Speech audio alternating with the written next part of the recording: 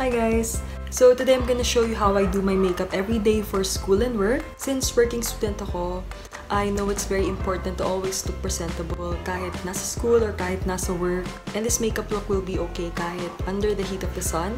Shout out to my fellow Thomasian artist from USTC FAD. Laging mahaba yung pila sa elevator so usually nagsistairs. And bago pa dumating sa class, pawis-pawis ka na. Most of the time, kailangan bumaba para bumili ng lunch o para bumili ng materials sa Jollies. So, uh, madalas haggard na. But I'll show you how I do my makeup that's uh, friendly for the Philippine weather, especially in Manila. Yes. So, um, let's start. Una, moisturizer. Um, sachet moisturizer lang na uli yung gamit ko since working student nga ako, so uh, nag nagtitipid ako. But this one is very, very effective.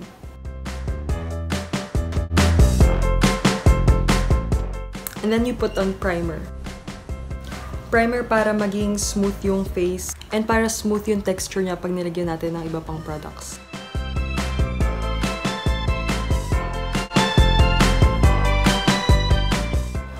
Pinaka-important sa lahat yung eyes kasi dyan makikita kung gaano ka-lively yung face ng uh, tao. As students, we have a lot of homework that we do overnight.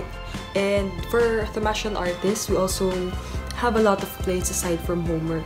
So we're gonna start with uh, the eyebrows. I'm using Maybelline Fashion Brow Palette. Ito yung wax. Ito yung ginagamit natin para i-outline yung shape. And then we use the powder to fill in the, outline.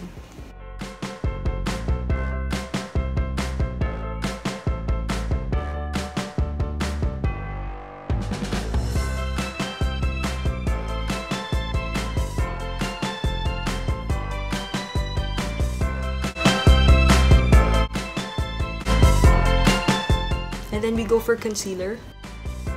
I'm using Maybelline Fit Me Concealer.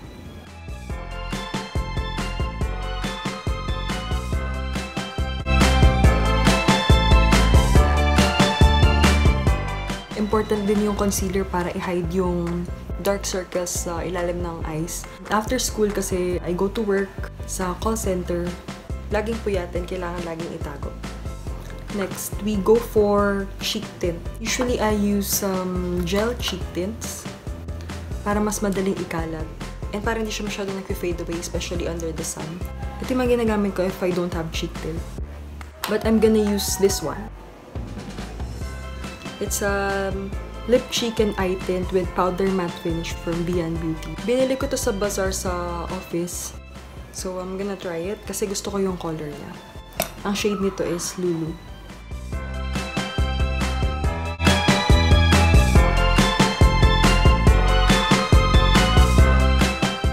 Don't worry about putting on a little bit too much kasi papatungan pa naman natin siya ng powder on top para mas mukhang natural.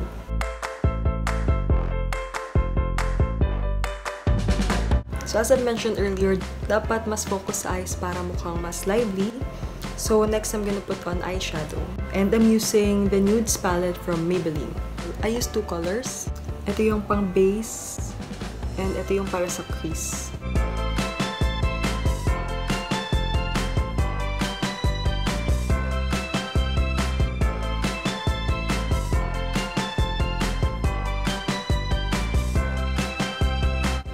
Next is yung eyelashes. I'm also using Maybelline for my eyelashes.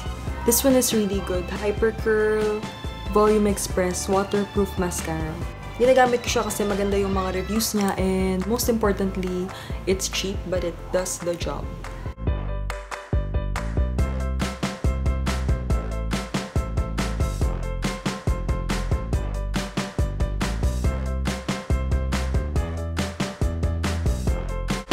Next is yung powder to cover everything up in para iset yung makeup. Actually, sometimes I would use um, Johnson's Baby Powder.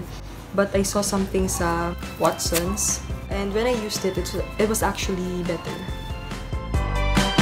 It's called Pond's Magic Powder. BB. BB powder. I put some on my palm. And then gamit ako ng brush para i-apply siya.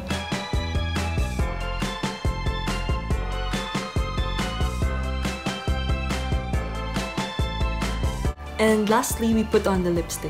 I'm also using Maybelline Touch of Spice. Yes, mostly puro Maybelline. Budget-friendly siya for a working student like me. And maganda naman yung products.